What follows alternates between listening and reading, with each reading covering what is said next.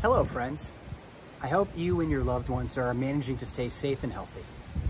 Before everyone started sheltering at home, we at Shearith had big plans for a special Shabbat Across Shearith evening on Friday, May 15th.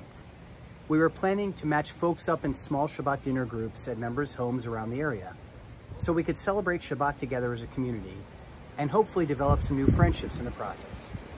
But then we thought, what if we could have Shabbat dinner together virtually instead? So I want to officially invite everyone in our community to Shabbat Across Shearith to go on Friday night, May 15th.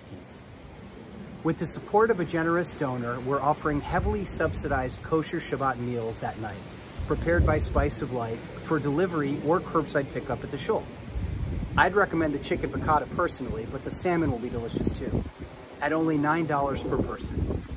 We really want to offer support to our congregant and loyal caterer, Jeffrey Collinger and Spice of Life, during this incredibly difficult time for his business and hope you'll consider placing an order for your home. And as an added bonus, Jeffrey has graciously agreed to do a cooking demo for us via Zoom on Thursday, May 7th. You should definitely plan to tune in then for a fun program.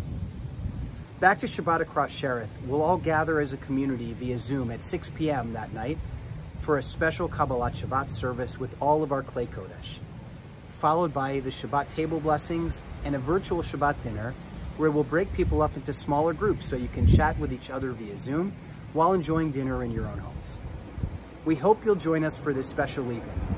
You can sign up on your own and we'll match you up, or sign up together with your friends and request to be at the same Zoom table for dinner.